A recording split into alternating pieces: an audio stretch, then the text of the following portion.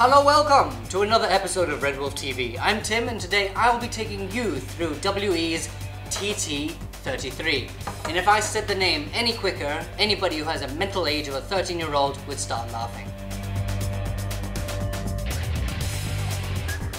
The real steel version was originally designed by the Russians and then borrowed by the Chinese, because that's what the Chinese usually do.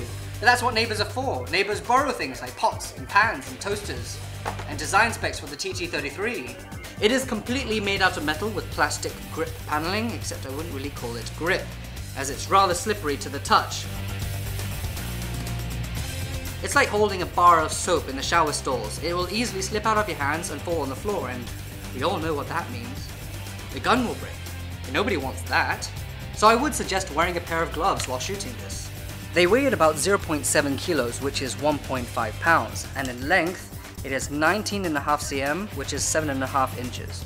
When the real steel version of the TT33 first came out, there were no safety features, and the magazine would usually fall out whilst you're firing, and one would normally find this very annoying and dangerous.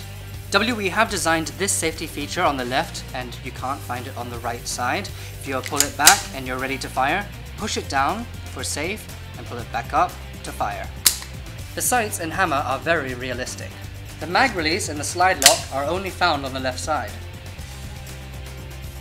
To find the hop up within the slide, one would need to remove the slide, and to remove the slide, you need to remove the teeth on the right side, put that there, take out the slide lock, pull it back, and push it forward, and you can find the hop up right here. It comes with one magazine holding 15 rounds. For this test, I'll be using 0.2 grams 6mm BBs. And remember, gloves.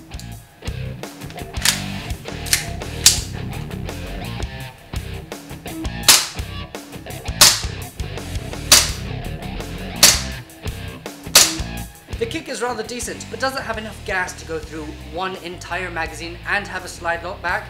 We shall see. There is a slight double feeding problem.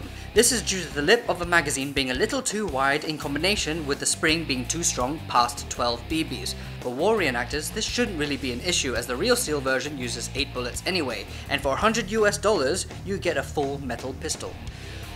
So I would suggest to use 10 to 12 BBs to solve this double feeding problem. And the slide does lock. WE have done a pretty decent job with the TT33. It's meant to fire 15 rounds, but it only fires 12, which is alright, but those three shots could prove rather vital. Pulling it back and letting go is very smooth and it kicks pretty hard, which is hugely satisfying. So for this cool product and many more, go to our website at www.redwolfairsoft.com. There's plenty more where that came from, and if you have missed out some of our previous videos, be sure to check out one of these.